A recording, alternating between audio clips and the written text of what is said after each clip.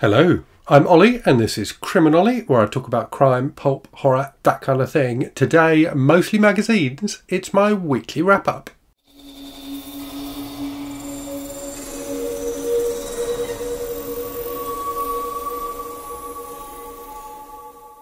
So, as you hopefully know, this month the Horror Mayhem reading event is taking place where we focus on reading short works of horror.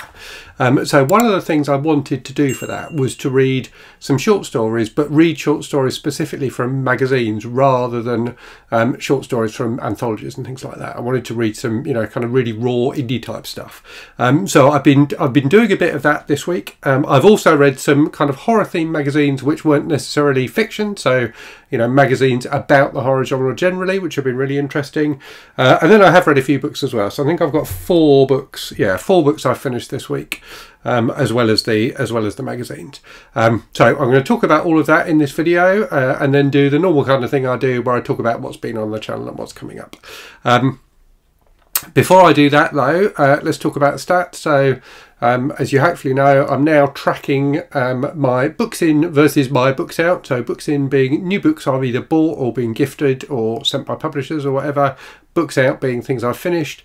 Um, I am including manga uh, and these kind of magazine type things that I've been reading in those numbers. So my numbers this week look, look pretty good, to be honest with you.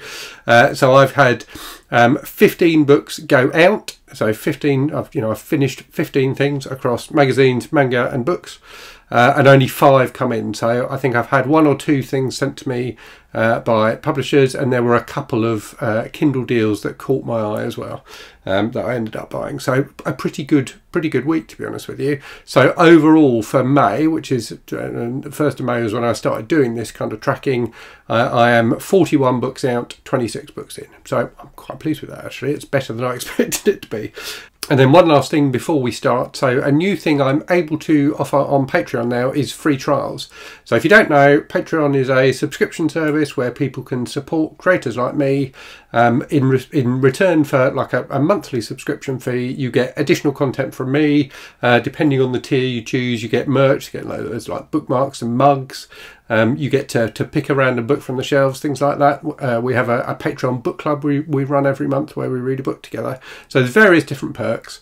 Um, and you can now get the first week free. So you can do a week's free trial.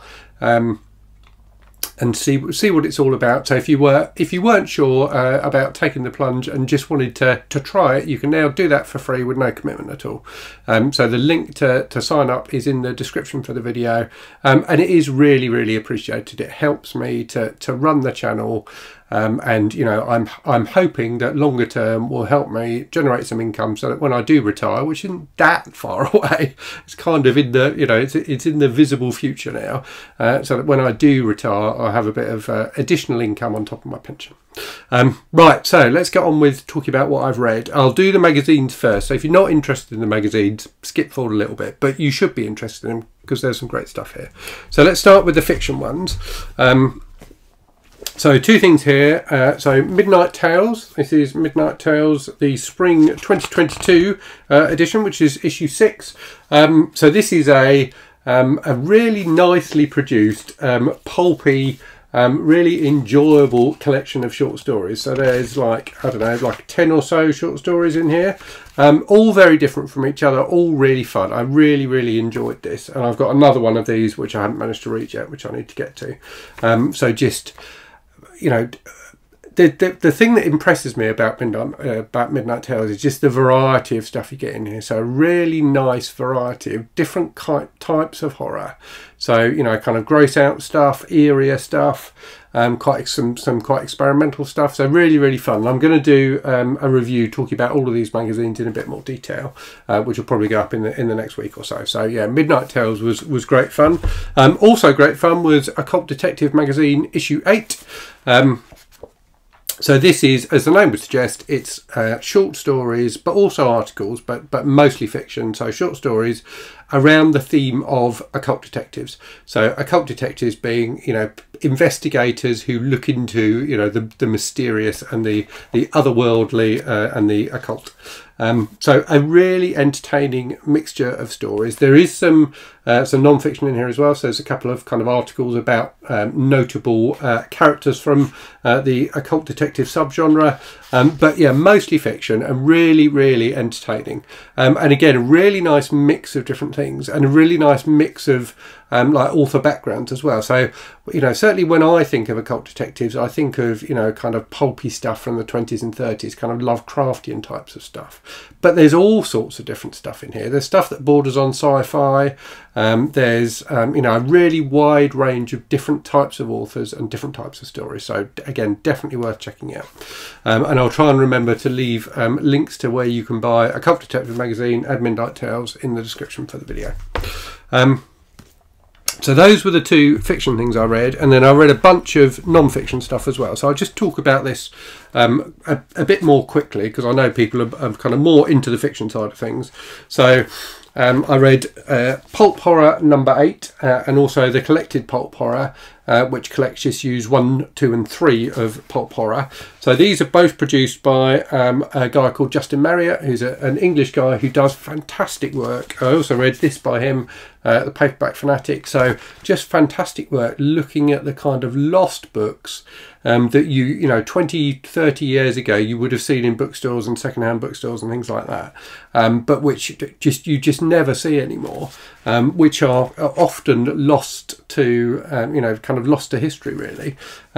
So these two, you know, very much focusing on uh, on the horror genre and some fantastic stuff in here. There's um, a really good interview with uh, Guy N. Smith, which I found really interesting. So Guy N. Smith, the famous British horror author, um, some fantastic articles and things like that. Um, Will Errickson, who you may know um, as Grady Hendrix' uh, collaborator on Paperbacks from Hell. Has got a couple of reviews in here. So all sorts of great stuff. Really, really entertaining. Um, and then Paperback Fanatic is you know a bit broader in scope. So not just horror. Um, paperbacks more more broadly so a really good uh, article about like disaster novels um, one about um, novels written by people who were in prison. Um, so uh, and some reviews as well. So some great stuff in here. Definitely recommended. Uh, and then also read from the same um, the same stable as um, Midnight Tales, and I'm going to have to pos carefully position my fingers over the slightly saucy cover. Uh, Midnight Magazine issue five. Um, so this is um, a horror magazine, but with a broader scope than um, than pulp horror. So this is about not just fiction, not just books, but like movies and things like that as well. So again, a lovely mix of different thing in, things in here. Some some fantastic stuff like this, where you get like, all these lovely old film posters. Um, just uh, but just really entertaining and, and, written with a real passion for the horror genre. Um, so if you like horror, oops, I gave you I gave you a flash of vampire boob there. Uh, if you like uh, if you like horror and like indie horror and kind of low budget movies and stuff like that, definitely worth checking out. Um, but as I say, I'll do a bit more of an in depth video on all of these magazines um, soon. Okay, let's move on to books then. So the first one I read was The Fall of the House of Thomas Weir uh, by Andrew Neil MacLeod. Um, so uh, there is in fact a short story with the same characters uh, in Occult Detective magazine number 8. Um, so I really enjoyed this. So this is a um, a novel set in Edinburgh in 1773, um, where Dr. Johnson and Boswell, uh, you know, real people from, from history, um, although I suspect they're not particularly like they were portrayed in this book, um, have gone to Edinburgh and they get involved in um, investigating this like spooky goings on at a graveyard where um, the, like the, the janitor, or what's the word I'm looking for, the custodian or whatever, the guy who, who looks after the graveyard um, witnesses something horrific. And the story just kind of spirals from there. This was not what I was expecting at all. I was expecting something maybe slightly stuffy, I suppose, and, and quite kind of leisurely, you know, quite kind of slowly paced and, and creepy and atmospheric and stuff like that this this book is bonkers. It goes all over the place. It's got all sorts of like weird conspiracy theories and things like that in it. Um, you know about the Masons and and you know the Crusades and all that kind of good stuff. But even more than that, and some fantastic scenes of kind of horror action as well. So yeah, I thoroughly thoroughly enjoyed this and, and definitely recommend it. Um, I then I, I went into a bit of a not a slump exactly, but I, I felt a bit horrored out. I felt I think like I've been reading a bit too much horror and a bit too much stuff that was maybe a bit a bit more serious. So not so much in terms of the stuff I've spoken about this week, but in previous weeks. Um, so I returned to a, an old favourite of mine, which I haven't read. I haven't read any of these books for ages, and I was shocked when I when I went into Goodreads to see which was the next book in the series that I needed to read. And it's been six months since I read one of these books. So I used to read one of these, so the Executioner series. I used to read one of these every month on the channel and talk about it. And I hadn't read one since November of last year. So anyway, I read the next book in the Executioner series, uh, Executioner 17, Jersey Guns by Don Pendleton. Um, Mack Bolan, not the name of the author, the name of the character. Um, so Mack Bolan is a, a guy uh, waging a one one man war against the mafia um, in the 70s, basically. Um, really good fun. There are literally hundreds of books in this in this series. I'm gradually working my way through them. So a you know very pulpy men's adventure book um, full of cliches and stereotypes and things like that. But a, a lot of fun. I, I, did enjoy it, and a fantastic cover as well. Um, and then, kind of in a similar vein, or at least I thought it was going to be in a similar vein, um, I read uh, Gunman by Loren D. Estleman. So, this is a book I picked out to read uh, for June on the Range next month, and then I decided I fancied it, so I picked it up. Um, it was really quite good. So, let, us talk about what I didn't like about it first. So, it felt a bit rushed to me. So basically, it's about this guy, and at the beginning of the book, he's a kid, and by the end of the book, he's you know getting on for well, probably kind of my age. So the, the book takes place over the course of, of a few decades, starts before the American Civil War and ends after the American Civil War. So it covers you know a really important and interesting period of American history. Um, and a lot goes on in this book. So it felt a bit rushed to me. It's only like 210 pages long, and and I think you could easily have made it 500 pages, and and it felt at times like the action and the writing was a bit too dense. There was a bit too much going on. I I could have done with it being a bit more spread out, um, but there was a lot that I loved about this. So I love that you know the fact of seeing this one character and his progression over over decades. There's some wonderful stuff in here as well about dime novels and, and the popularity of dime novels about gunslingers and outlaws and things like that in you know in the West, um, but in America generally at, at, the time. And indeed, the main character, uh, who's called Killer Miller, um, ends up getting uh, having, having a dime novel written about him, um, which I thought was a fascinating idea and, and really, really interesting. You see him like talking to the guy who's going to be writing the book and stuff like that. So uh, there was a lot that I thought was fantastic about this book. I just felt like it was a bit too dense. Um, but yeah, definitely recommended. And, and, if you know if you like westerns, I would I would say this is worth checking out. Um, and I think Loren D. Estleman wrote uh, some crime fiction as well, so I may check that out.